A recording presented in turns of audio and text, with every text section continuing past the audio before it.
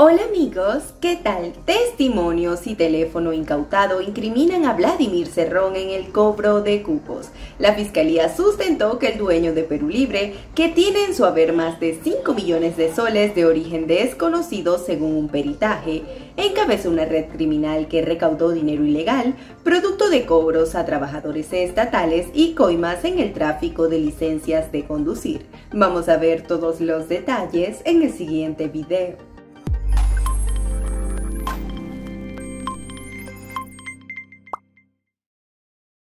Todas las pruebas lo delatan. El fiscal de lavado de activos Richard Rojas Gómez aseguró que, además de los más de 700 elementos de convicción, existen declaraciones de tres colaboradores eficaces que develan el accionar delictivo del dueño de Perú Libre, Vladimir Cerrón, como cabecilla de una red criminal que se enquistó en el gobierno regional Gore de Junín para acumular una gran cantidad de dinero ilícito producto del tráfico de licencias de conducir y el cobro de cupos a los funcionarios públicos más conocida como los dinámicos del centro. Querrían obtener dádivas, producto de la corrupción de funcionarios, así como obligar a los trabajadores en CAS a que entreguen parte de sus sueldos y vayan a la cuenta bancaria del movimiento político Perú Libre, mencionó el fiscal Rojas ante el juez John Pilyaca, que evalúa el pedido de 36 meses de prisión preventiva en contra de Cerrón. El colaborador eficaz número 01-2022 narró que el Gore, que estaba bajo el mando de Vladimir Cerrón, había una voluntad criminal de contratar a militantes del Partido Perú Libre con la intención de presionarlos y que apoyen a la campaña política. A los funcionarios públicos se les obliga a donar parte de sus remuneraciones bajo la amenaza de ser despedidos de sus puestos. No obstante,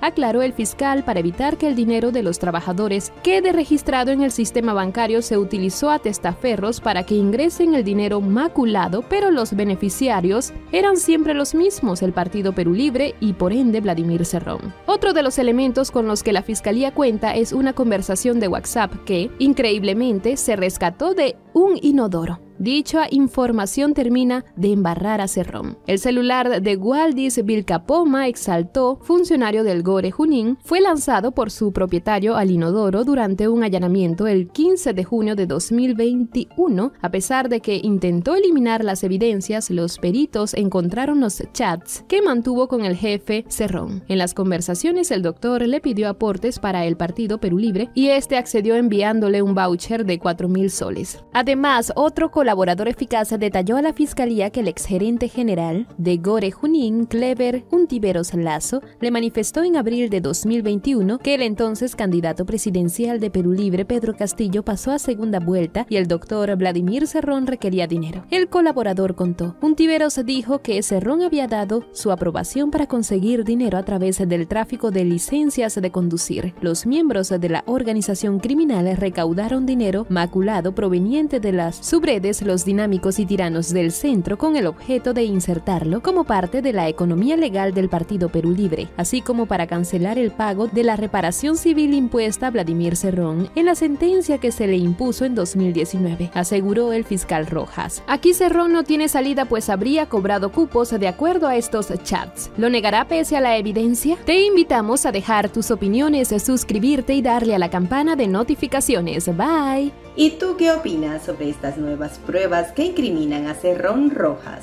Déjame saber tu opinión en la cajita de comentarios. Muchas gracias por ver este video. Si te gustó dale like y suscríbete al canal. Nos vemos en la próxima. chao. chao.